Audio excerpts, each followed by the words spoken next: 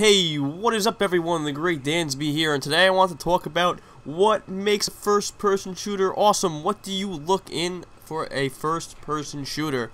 I mean, I'm using some Modern Warfare 2 gameplay today because honestly, when this game first launched, it was probably the most fun I ever had playing on a Call of Duty game. When this game was out for the first few months, you know, November um, and uh, December and probably a little bit of January, this game was the fucking shit. It was the most fun I ever had on an FPS game before the community kind of uh, figured out how to exploit it due thanks to some, you know, YouTubers. I'm not going to name names over here.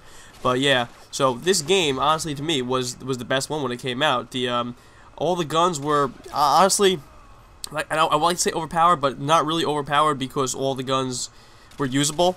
So in, in that sense, there was really no OP guns in this game. Uh, a lot of them were easy to use. I, I totally agree with that. But on the same token, you could there was variety in it because all the guns were easy to use, except for like the F2000 wasn't really that easy to use, and, and the Vector was kind of pointless because it had such such low damage. So outside of hardcore modes, it really wasn't that good of a weapon. I know LP likes to use them all the time, but it really wasn't that good. Um, let's see what else. Um, I mean, the shotgun secondary is a little bit bullshit in this game, but just I just want you to think about it, like what makes an FPS game good to you. I mean, to me, the things that make FPS games good to me are, are number one, fast pace. Modern Warfare 2, is it fast paced? Hell fucking yeah. Is there bullshit in it? Absolutely there is. But when the game first came out, the, the, way they intended the game to be played, I, I honestly think this is the best first-person shooter ever made. But there, but I have to, you know, take away from that is that there was so much crap in this game when it comes to the noob tubes, the danger close, the one-man army. There's a lot of commando. Oh my god, there was a lot of broken shit in this game, and they never fixed it. I mean, I know they could have fixed it. It wouldn't have been like a hot fix like they can do in the games now. It wouldn't have been as quick, but all this stuff they could have fixed. The truth of the matter is they didn't care enough to fix it. Um, whoever was left of the company didn't think it was that big of an issue to go fix the game. This is really uh, sweet over here. I, I pretty much start clearing out this bunker. There's one guy sitting in the corner staring at the floor that actually winds up killing me, but whatever. So, uh, I digress a little bit. So, what are you looking for a first-person shooter? So, fast-paced, that's one thing. Two, gun balance. This game had the gun balance. Like I said, pretty much with the exception of a few weapons, all the guns in this game were very usable, and you could have fun with them and do well with them all the time. Um, I'm using the FAMAS here with the extended mag. is one of my favorite setups in the game. If you're gonna troll me for it, go fuck yourself. You're probably the same people that uh, that will click on Sandy Ravage's videos when he uses the FAMAS and be like, "Oh my god, he's such a beast." But if I used it, I'm, I'm a scrub, right? Okay, whatever. all right, let's see. Um, what else do you look for?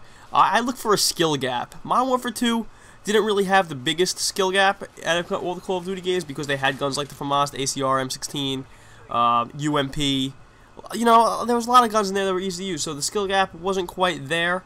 Um, it's probably why Black Ops is my favorite out of, out of the whole series. Black Ops has a really big skill gap.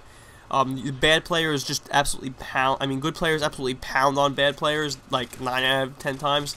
This is actually the host right here who I just killed. He he winds up, I think, tubing me very very soon. Oh no, maybe he isn't tubing. Me that was early. That happened already. What the hell am I saying? But I actually get the the host to back out really soon. You guys will see that. Um, didn't like that. Uh, the Angel of Death was in up up, up in the air.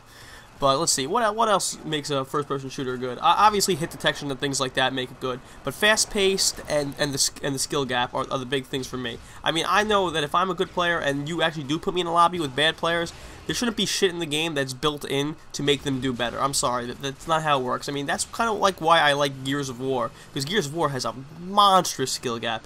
A good player is going to destroy you every time. I mean, I'm not very good at, at um at Gears War. I think I have like a one and a half KD in Gears War, and I fucking try, man.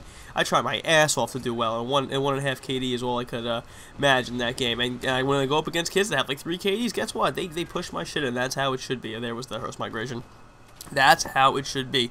That's how they should make first-person shooters. And then, you know, from all these things I'm saying, people be like, "Oh, well, why don't you go play Battlefield?" The problem with like Battlefield has great gun balance, and they patch gun ba they cut patch guns all the time to make them more balanced if they're not so balanced. And I love that about uh, I think it's Dice. Yeah, Dice. That that's great. But you know what? When it comes down to it, Battlefield is just way too slow paced for me. It's not the type of shooter I like to play. I like the more arcade style. Like Call of Duty. You know, it's it's more of a tactical shooter Battlefield, tactical, campy, whatever the hell you want to call it. That's how it is. I'm not shitting on the game. It's just it's just not for me. And I'm going to call my tactical nuke here. So what what do you look for in a first-person shooter game? I mean, all the things that I just mentioned, I feel are, are very important for in first-person shooters, or, or just shooters in general, not even first-person shooters. So let me know what you guys think in, in the comment section, because I'm curious to what, like, your favorite first-person shooter games and why. Because if people just say Modern Warfare 2 because I had the most fun, oh yes, I understand, I had a lot of fun in this game when it first came out too. But when you when you play it now, you have to find a magic lobby like this one, where I think I got one noob tube death, and I thought it was going to be a good game the second this game started, because there were no tubes flying all over the place. I was like, let's see if we could get a big game here. Wasn't looking for the nuke, but we were able to drop it, it was good. So let me know in the comments what you guys thought of this commentary, what you guys think of FPS games, leave a comment and some likes, and I will catch you guys soon. Take care.